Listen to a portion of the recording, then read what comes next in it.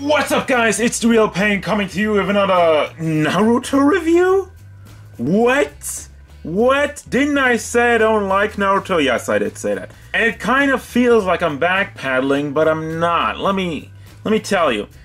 When I did the news video, I was kind of ragging on Naruto.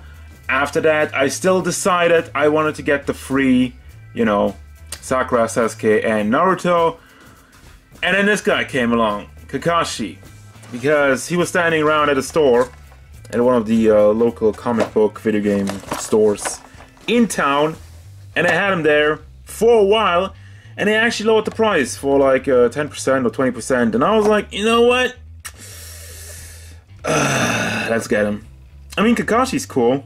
He's nice. He's got lightning and stuff, and the weird eye, but regardless, this is an SH Figuarts, this is Kakashi, I've said that already, and this is from Naruto, and this is also a Tamashii web exclusive, I think. That's whenever they have the uh, Bandai Collector Shop thingy over there. I think that means it's a web exclusive, from what I can tell. But uh, yeah, we have the character with the Japanese writing and some pink, reddish pink Hmm, it looks very pink on the camera, but it looks definitely like red. In real life. I mean, with, with my own two eyes. But yeah, that's enough about the box already. Let's get into this. What? For whatever reason, I'm like, I want to go, even though that's not very ninja-like. What is this, Bruce Lee?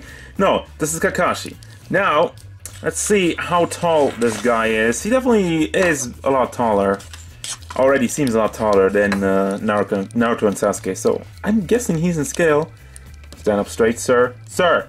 16 centimeters, almost. A little over 16 centimeters to the top of his head, which means he's about six and a half inches. Really up, up there to his hair. And then, speaking of hair, this connects. Oh my god, now we can see the brain part, even though there's no... They didn't go that in into detail thank God. Yeah, overall look of the character, let me let me put his hair back on. He has very bluish hair, and I don't really remember that.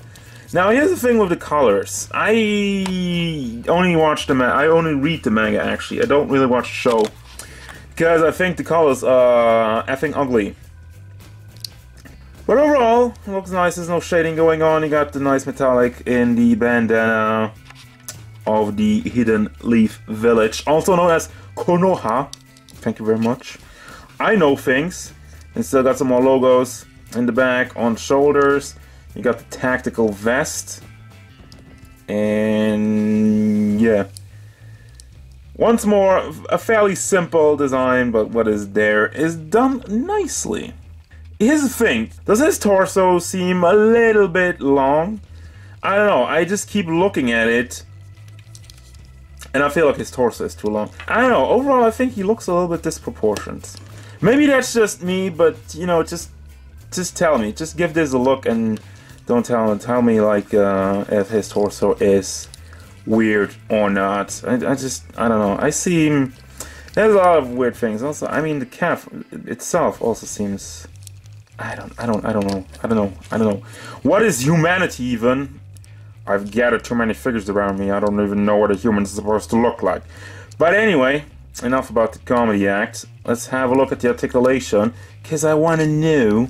First of all, the head rotates around, you have all the room in the world, and then disconnect. So yeah, it's the classic SH Figuarts double ball joints with the hinge on it. So you can move that around, you can move that side side, and it... Oh, the ball disconnect, that is my favorite part. The ball disconnected in the head. Well, that sucks. So you know what? This is gonna be a headless review for now. I just gonna, I don't have the tools to remove this. This! Why does this happen? This, I hate this so much. Like, really. So this ball is gonna keep disconnecting and I'm gonna keep having a problem with the head on there. So anyway, the head was moving around. You have a little bit of back and forth motion in the neck, well actually a lot, and also goes out to the side. So a lot of neck articulation going on. At the shoulders, we have also the, the double ball strategy with, I think there's a floaty piece in there. Yeah, because that one moves around in there. So you can bring that forward quite a lot. I'm actually impressed by that. And you have the floaty piece to hide it, which doesn't really do the best job because there's still gaps.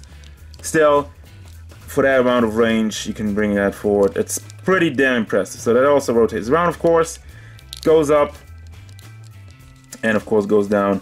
And like I said, you can rotate it around. Then you have a bicep swivel over here. Then we have the double hinged elbow joints, classic stuff. There's no elbow pad though, so these look pretty horrible considering he has a more you know he basically wears a jacket so it's all a lot more wider and that's gonna be a problem with the joints if you're not if you're not doing any any pads over there any elbow pads. You have the same ball joint cut ball joint in the fist so it goes around and back and forth. Then we go to the torso. It has actually once again a ton of range. I'm very impressed by the articulation so far. That goes back and forth and it wiggles around, goes side to side a little bit. Actually, once again, a lot. I keep saying bit, and then I'm like pushing it, and I'm like, well, I guess that's more than a little. Then we have this weird piece over here, and I don't really know what to think about it. On one hand, I mean, it's it's cool. It's just it just kind of sticks out. Although overall, I think the idea is great to kind of hide hide the articulation going down there, so you can stretch out the torso, and that's that might be one of the reasons why I think the torso looks too long, too long, because of this part just kind of hiding it over there. Because I'm, um, you know, you're used to having SH Figuarts like that. I don't know. Anyhow, this moves around back and forth. Hold on, real quick. Once again, a lot. I'm not gonna say a little, but a lot goes forward all the way. And you always have this just rotating around. And it is completely floaty that is not being held on by anything. You can move it around. The only thing that keeps it in place is the back pocket over here, the back pouch. And that's cool. It's a very good design choice actually to have the pouch kind of holding it on. But otherwise, I don't think it's connected anywhere. No, you can you can move that around all you want. Then we have legs. They go up. Holy moly. They go up all the way. Like, all the way. Ninja action! And I go back, and I go to the side. Hmm, blocked. Yeah, out to the side, not so great. Then we have the knees. You have actually a knee pad over there. Still looks kind of disconnected, and it goes off. Well then, that's just some packs. I can get that back on there much easier than the head. Now, the knee joint is actually pretty good. I like how they did that because it tucks under there. It, it ends down here, but it tucks under the uh, the, the phi. So when you rotate it out, it still looks good and it will look good. And until to a certain point, till you get to like uh, you know, where you basically go all the way out, then you'll have some gaps. But only then. Before it still looks good. Now at the fist, you can swivel around. Has an ankle. Well, has a very nice ankle rock actually. Goes at the side. Only inside actually. Just uh, it's one of these things. So I guess it's not even an ankle rocker, is it? It's probably just a peg in there.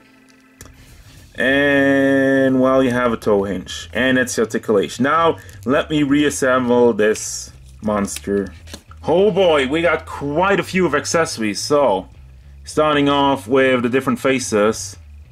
Of course, you got the one where he has his bandana up with two faces, one with the eye closed and the other one with the eye open, of course with the Sharingan showing. Very nice detail work on the eyebrows. Just kind of want to bring that to your attention, please. Then we got two kunais. But yeah, you got the kunais, nice metallic. I already said that, but I say it again because they're nice metallic. There, three times the charm. Then you got the, um, I don't remember what it's called again. We have his little book of naughty secrets. You know, the romantic manga comedy. It's not really manga because there's nothing in it. But, uh, yeah. You all know what this is about. So he has also a hand to hold it. Let me actually try it out real quick. If that's what I think it is.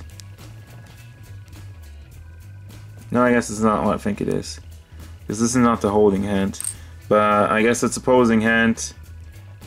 We got posing hands for all your different ninja ninja ninja techniques, open hand. And let me see if that's that's probably the one.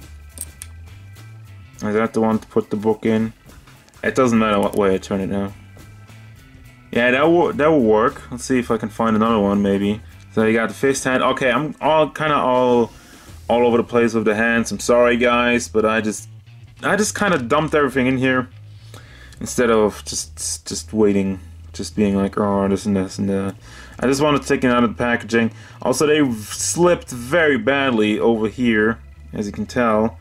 They just made the inside. They just made the inside of the hands blue, which uh, also goes for this one. And my lighting is messing around again. Then we have another open hand kind of posing, and we have this more posing hand. It seems like to me that this really is for the book, but how am I doing it wrong? Am I stupid? I can't really say. I can't really see how I would probably do that. I mean, it's in there now, but well, I guess it's in there. It's not super tight though. And that brings me to the final thoughts. What do I think about Kakashi? Well, like I said, there's a lot of interesting sculpt stuff. The articulation is amazing. Some of the best I've seen in a long time. And there's some interesting things going on with like this floaty stuff.